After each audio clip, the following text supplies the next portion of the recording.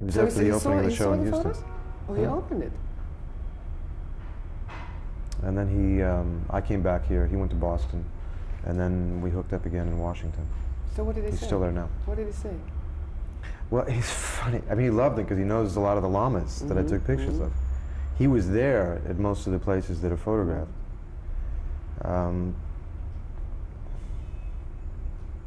the Tibetans have a funny aesthetic. They would rather th- see things really sharp and in color, you know? Right.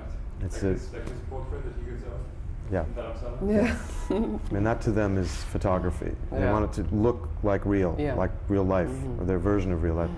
So this kind of expressionistic photography here is not exactly. They want to know why it's blurred. You Mhm. know? Yeah, me too. why are the figures Me moving? too. Why are they? Because they're revealing something other than what you see with your eye. Mhm. It reveals the ghosts and the spirits behind the obvious. Mhm. But let's talk on film here. We're wasting. Yeah, okay. You ready to go?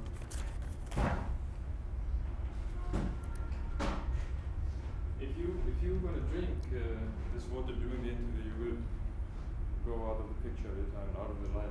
Why don't you put the table beside? In a second.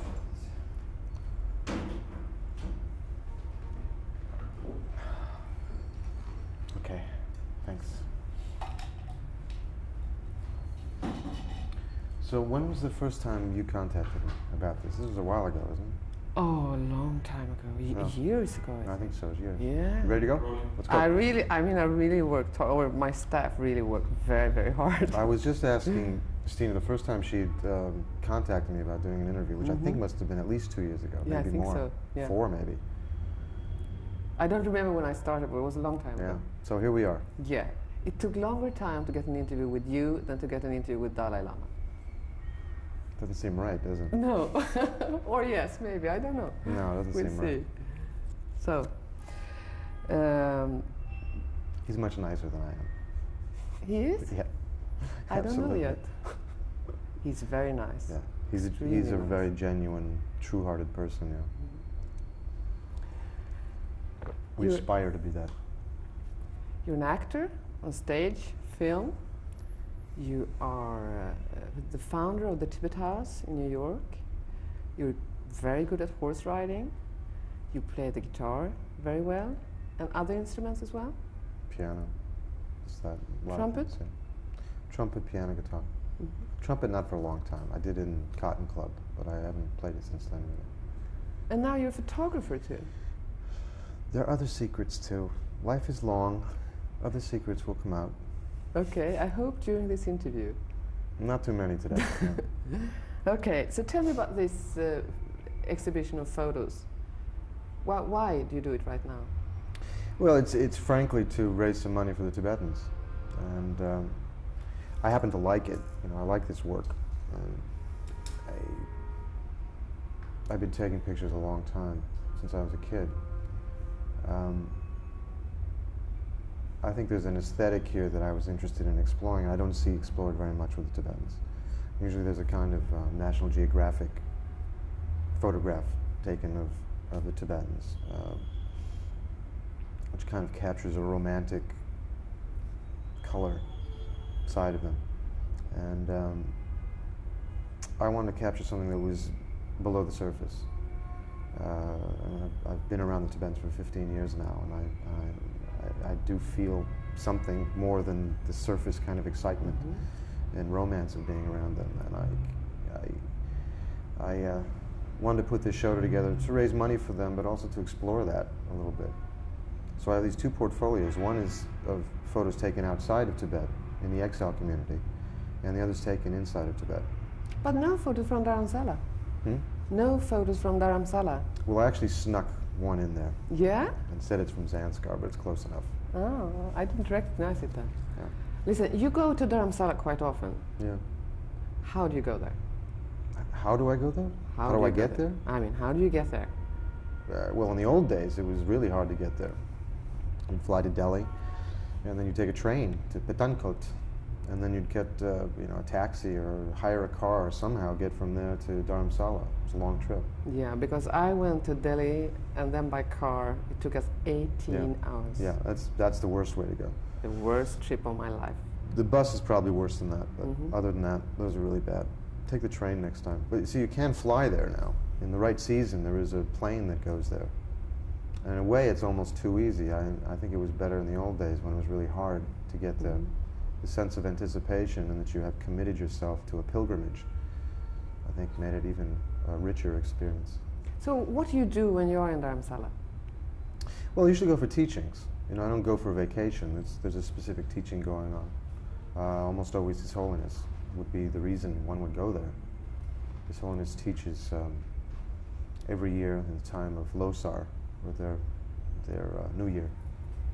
And it also coincides with their March 10th celebrations. And that, that's the March 10th, started in March 10th, 1959. And that's when the, the Chinese finally started the, uh, the shelling, the bombardment of the Potala, and the Dalai Lama very miraculously escaped from Tibet. And that's when the mass exodus started. First, about 80,000 Tibetans got out, now there are about 120, 130,000 who have gotten out of Tibet.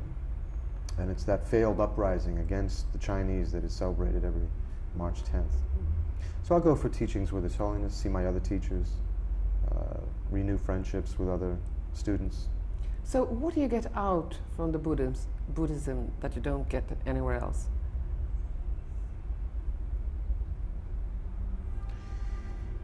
You know, there's, there's a thing called the triple gem that in Buddhism one venerates and, and spends a lot of time considering. And these are three jewels. And the, the first jewel is the Buddha himself, who was this light and uh, who accomplished these extraordinary things in his lifetime through very hard work, extraordinary hard work. Not because he was born a Buddha, but he did the work to become a Buddha. Uh, the second is the Dharma, or his teachings. And it's a very systematic thing he laid out for us to follow, to do work on ourselves that eventually would lead us to Buddhahood or clarity, uh, to totally open hearts and totally expanded minds with no impediments. So how far did you go so far? I have nowhere. I'm still crawling like a baby. And a third of the jewels is called the Sangha. And the Sangha is the community of people who were trying to walk the same road. I think that's one of the important things about, especially going to or spending time with teachers at teachings, is that you become part of a community again of people. And if you live in a community, uh, you have these higher ideals are being supported in you, in your life, in your mind. Uh, it, it makes it makes uh, progress much faster. And obviously, when you do this kind of work, this inner work, you're constantly coming upon problem areas. There's a lot of pain. There's a lot of suffering involved. Things to break through, and having the support of other people who are walking the same path Mhm. and are having the same problems you're having uh, makes it easier. You know, makes it supported, makes it more loving. But it was a very long time ago that you started becoming interested in Buddhism. One- one more, okay. It was uh, quite some time since you started becoming interested in Buddhism, Yeah. like 20 years, so? Yeah, I was 24 when I started. Mhm. It was Zen Buddhism then. It was uh, Yeah. my first teachers were Japanese. So what attracted you to the Buddhism?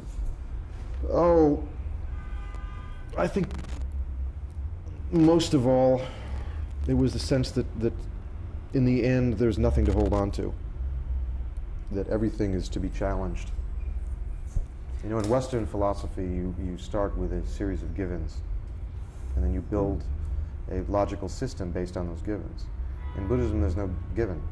You challenge all the givens. Mhm. You take it right back to the beginning until you get back to a single particle, the universe itself generating from a single particle, and even that particle was born of emptiness. Mhm. So nothing is left to hold on to. Everything is challenged.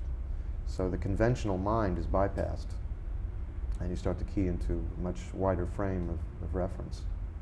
On a practical plane, um, I found that the the the dual aspect, the, the dual trainings of mind and heart wisdom and compassion uh, are totally compatible and beautifully integrated in these teachings.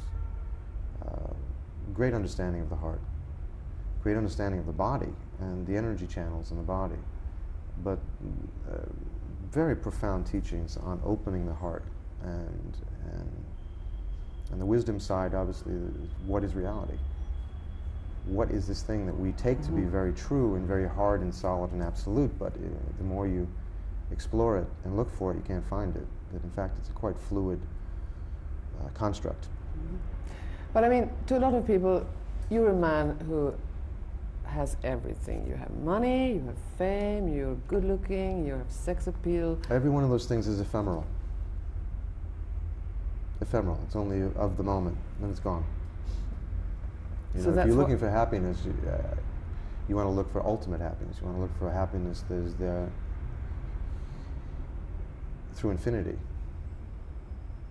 You know, so the, the, these things are what, what appears to be happiness is very small, very simple things. to really of a, a superficial nature Like what?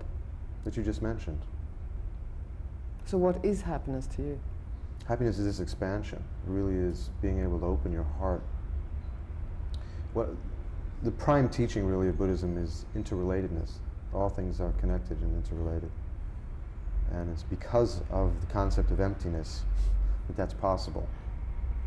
Uh, emptiness is, is kind of misunderstood. It was misunderstood by me very much in the beginning. I think I, Yeah, I had great thought- problems understanding what he meant. I can't say that I understand it now, but I understand more what it isn't. And when I started studying, I think I had this kind of hope that I would disappear. When this emptiness thing would happen, I would disappear. Mhm. Now, in some sense, you do disappear because the ego disappears. But you don't disappear. The mind doesn't disappear. Mhm. Consciousness doesn't disappear.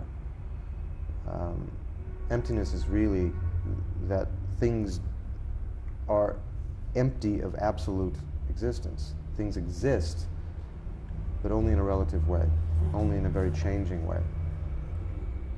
But when I came to Dalai Lama, I came with all these questions, you know, about life, and I thought, Mm. now I'm going to get all the answers. Mm. And then when I came back home, I realized I had all the questions left. Mm. Did you re- did you uh, Well, experience it's more important to have answers. I mean, I'm sorry, it's more important to have questions than answers. Questions give you energy. You know, I remember Picasso, he was asked about uh, computers. He said, Pablo, what do you think about computers? And he thought, he said, ah, I'm not that impressed by them. I said, why not? He said, well, computers can only come up with answers.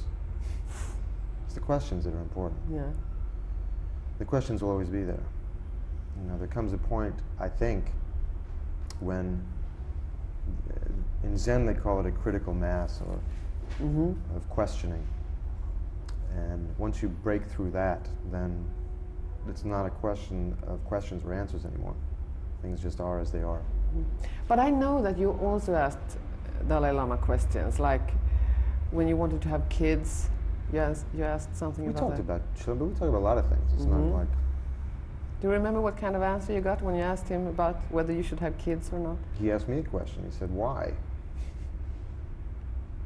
And uh, I said, "You know, look, as, as I'm not a kid anymore myself, I said I think it's it's it's a it's a way to open your heart even more."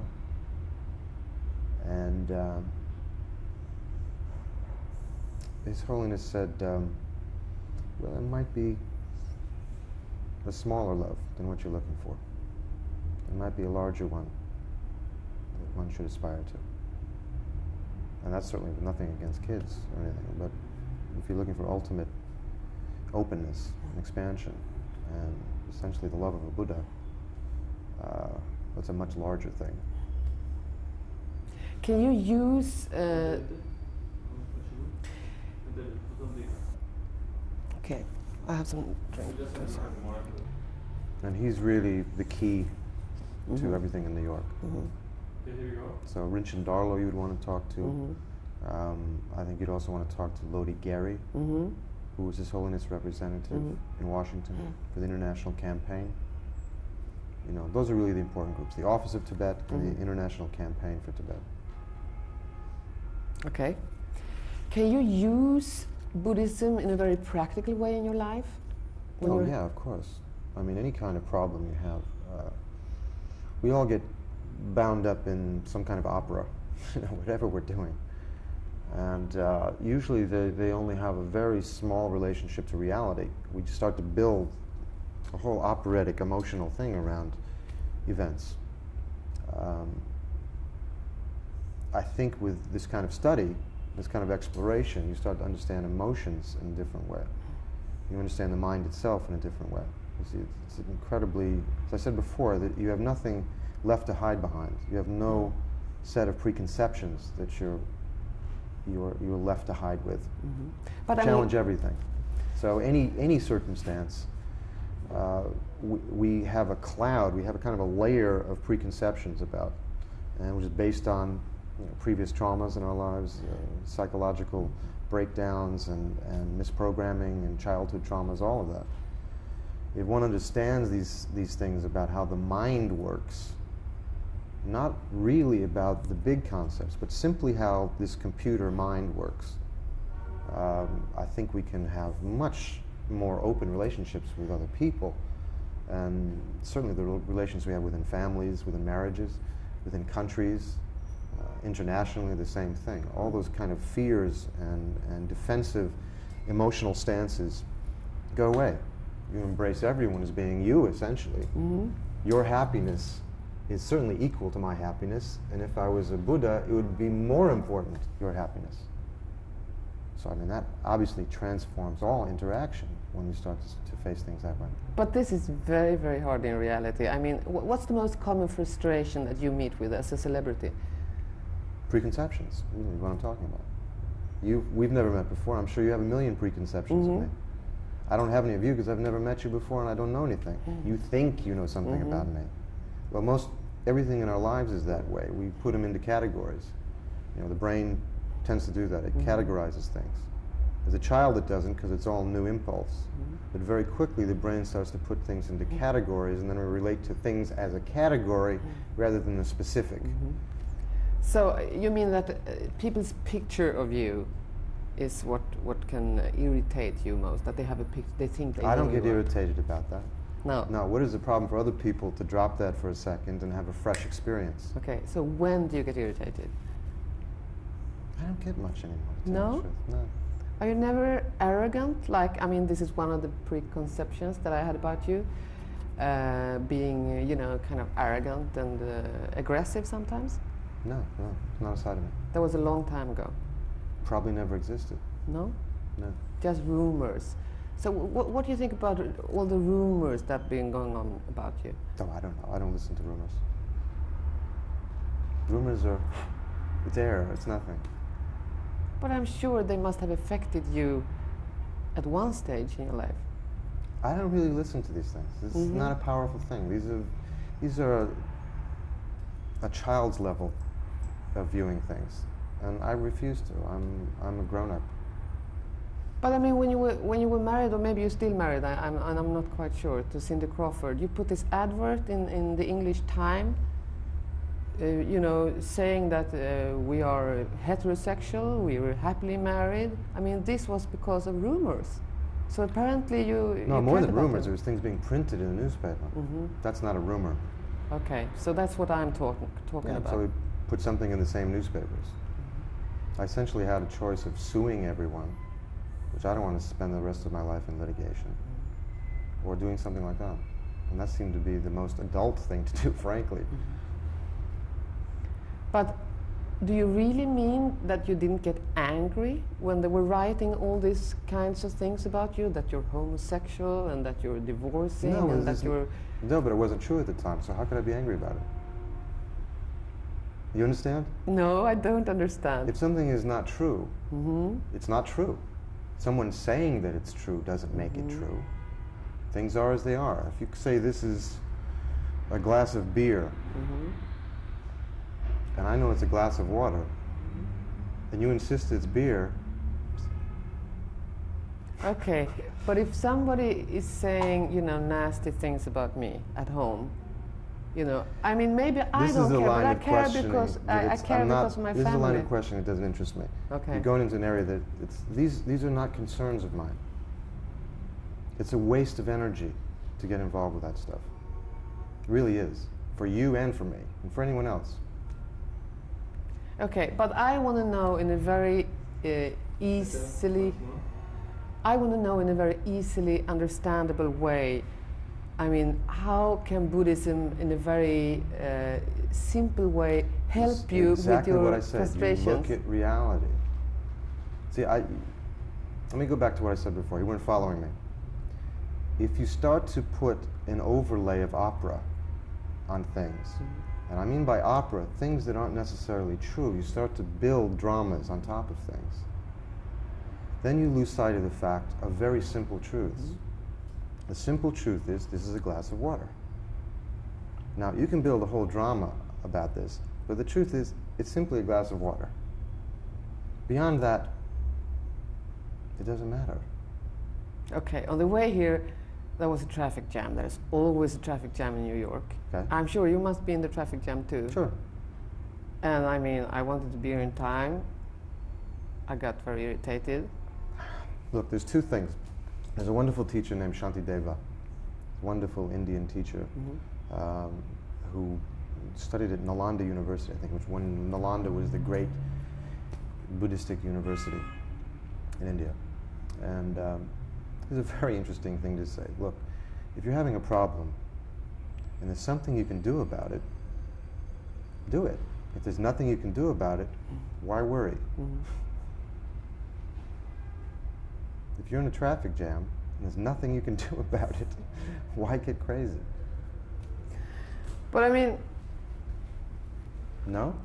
Yeah, yeah, you're, you're right. But I, I, I just have a problem really believing that you've gone this far because I mean, if, It's if it's right far. what you say, This is only oh sure, you say you're crawling, but I mean, if you don't this get is irritated, only the beginning. This is simple stuff. This is kid stuff. okay. So I mean, tell beyond that, th- these are they're real training. Beyond that, these are only the simple things that Mhm. children do that you and I have to deal with Mhm. because we have no discipline over our minds and our emotions.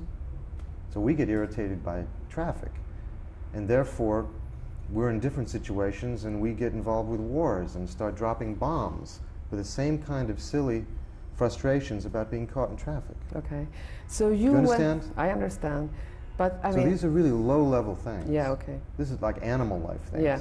But most of us are kind of living on that Absolutely, level. but we're trying to get out of that. Okay. That's the point. So you're to help us with that. I'm not helping anything. It's not my job to help, and I'm not equipped to.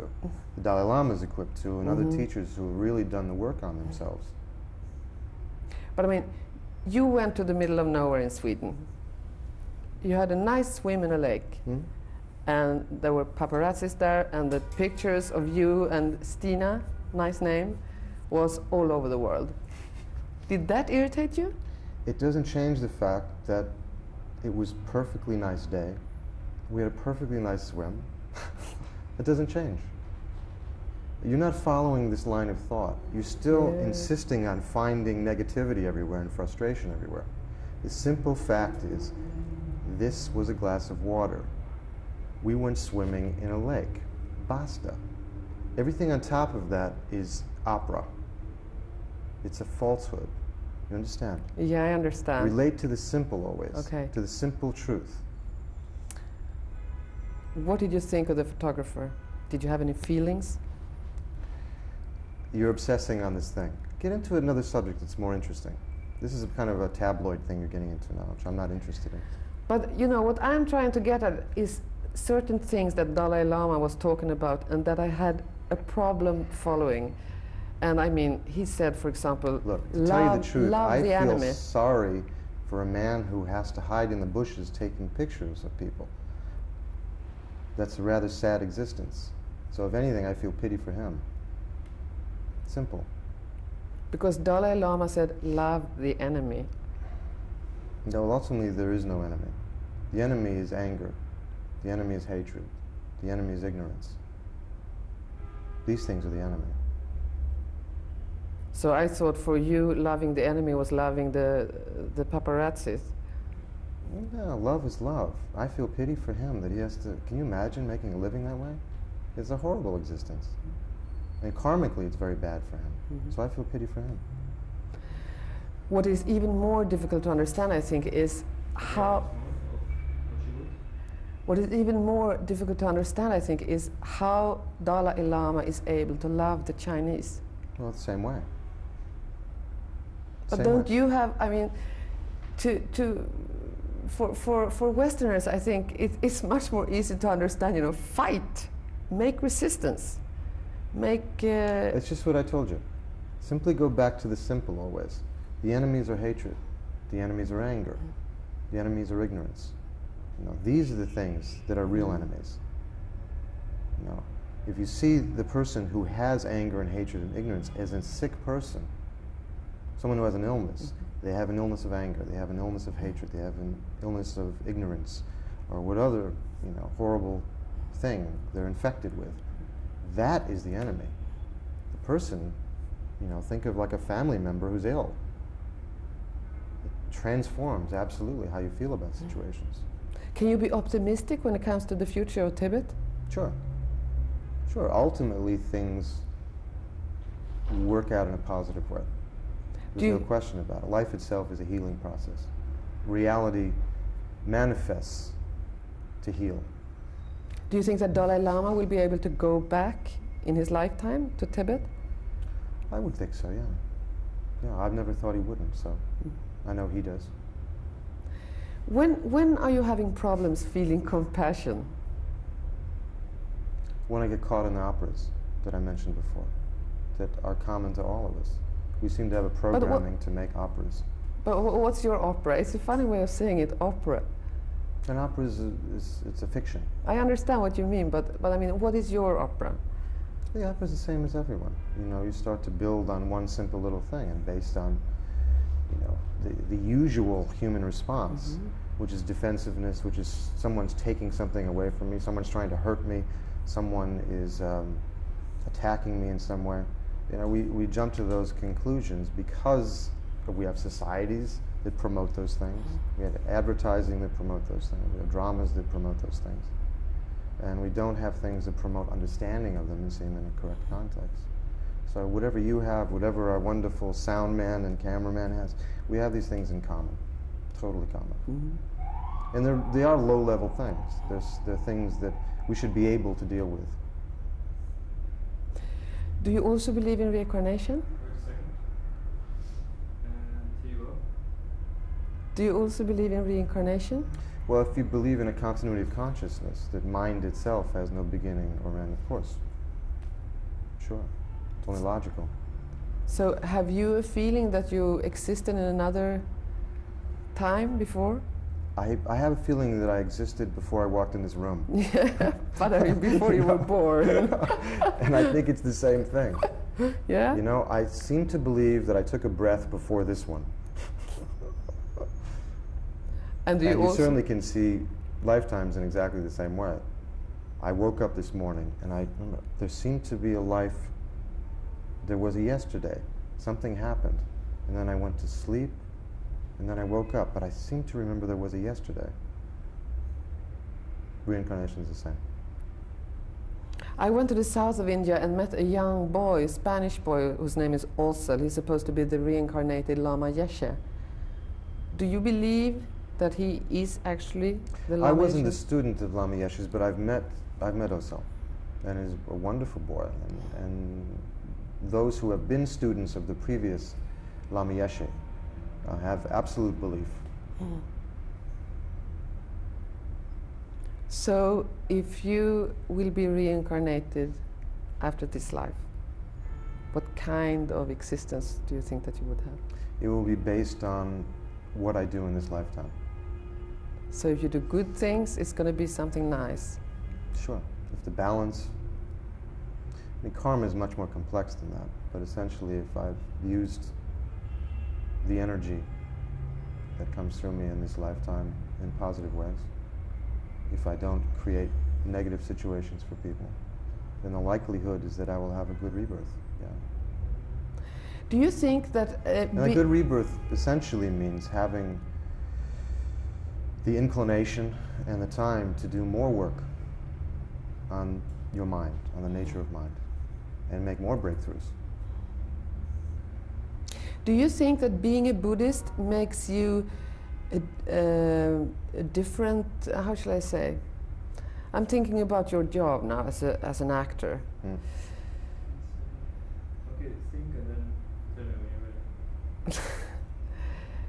Do you think that, um, I, I take it once again.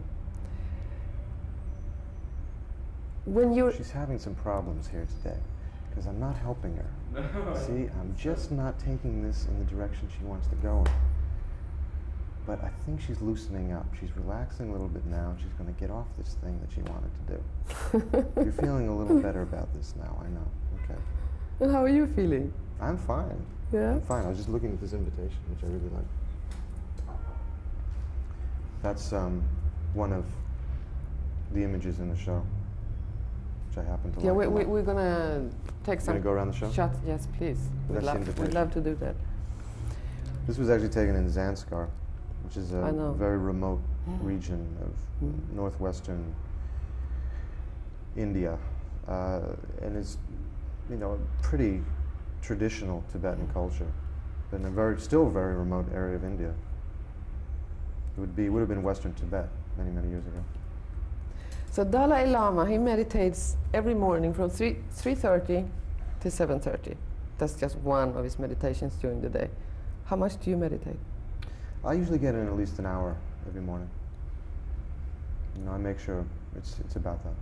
Sometimes more. Very rarely less than that, sometimes more. And do you do like Dalai Lama? Do you meditate on like emptiness, on a certain subject? I wish there was a camera on her when she's asking these questions. Usually there is. I'm very happy it's not. Why? well, uh, to meditate on emptiness. Why did you say throw it out like it's like it's well, of course, on emptiness, as if you know what that is.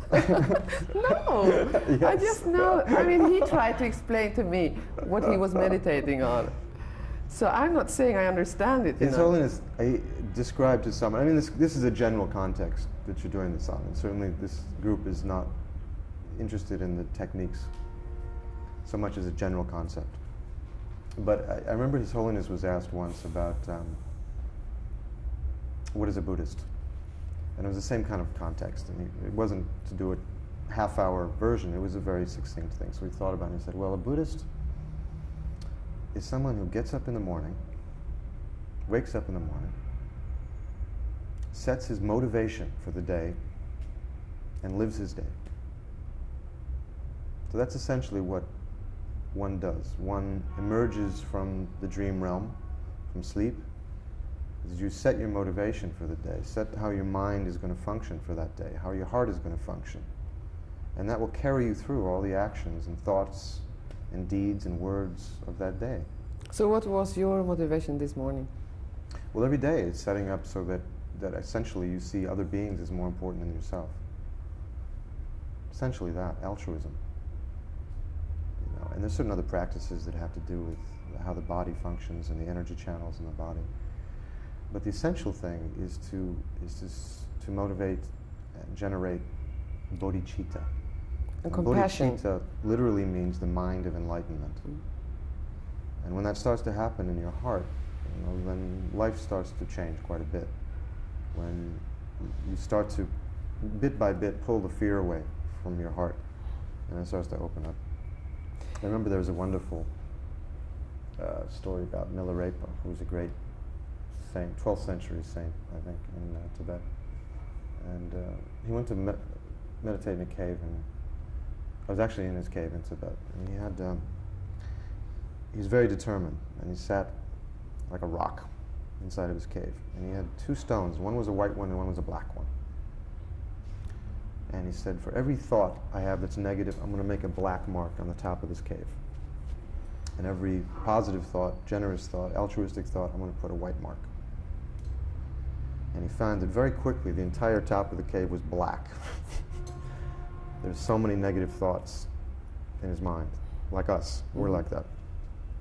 But work and work and work over the years, there were a few white marks started to come up, and more and more white. And after many, many years, the entire top of the cave was white.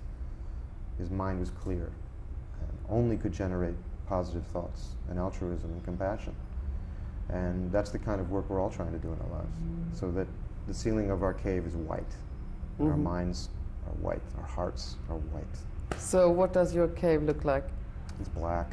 Really, really pretty disgusting right now. Jesus, I think A it few sounds very white to lonely me. White marks up there, but it's still pretty black. Yeah. Mhm.